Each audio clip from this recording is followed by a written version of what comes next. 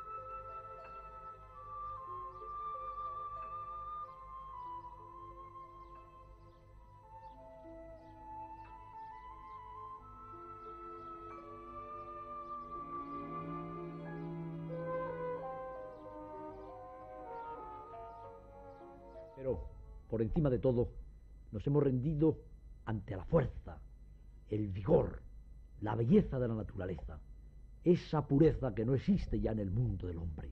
El águila imperial volando sobre el bosque, aquel águila imperial que llenó de admiración a tantos públicos de todo el mundo. Véanla nuevamente volando en los pinares de Cazorla.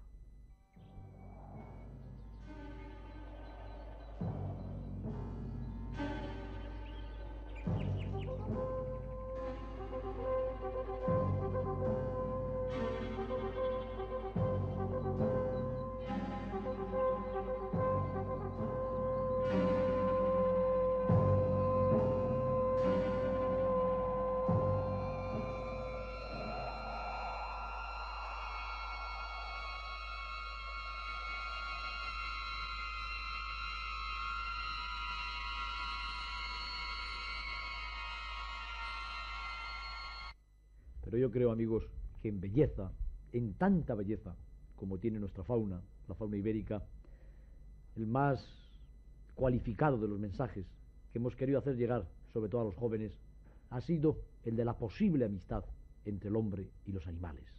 El de no vivir en son de guerra, el de vivir en son de amor.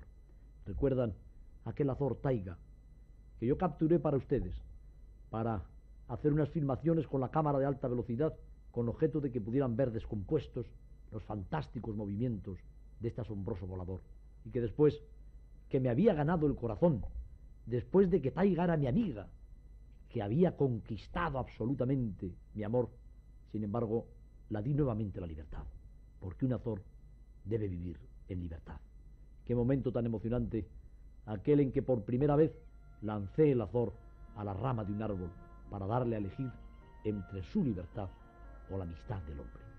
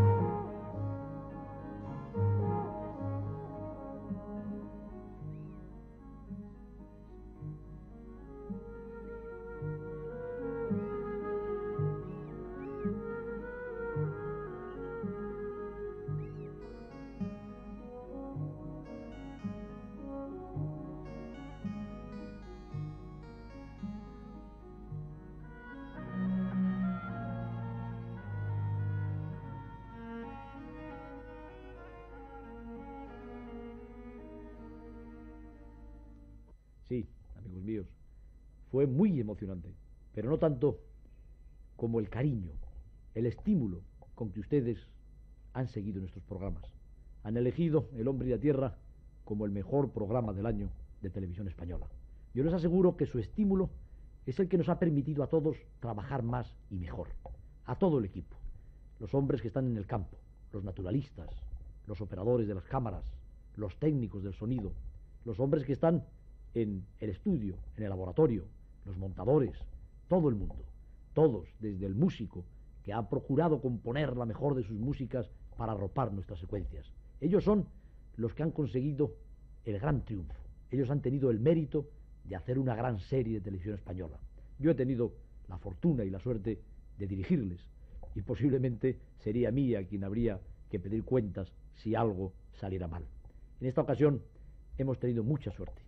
Internacionalmente se ha reconocido la valía de la serie ibérica del hombre y la tierra con un gran premio, la ninfa de plata.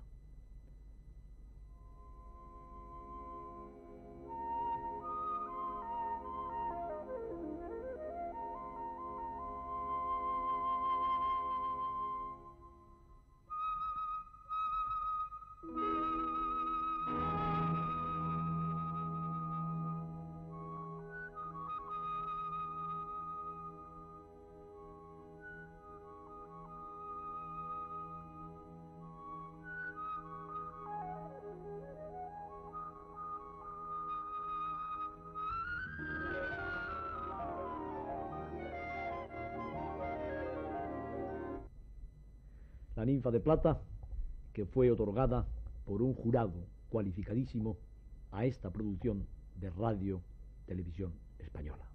Al mismo tiempo que la serie ocupaba los primeros puestos en el rating desde los Estados Unidos hasta el Japón, pasando por Alemania Federal, por los países escandinavos, por Francia, por Italia, por Rusia, por Sudáfrica.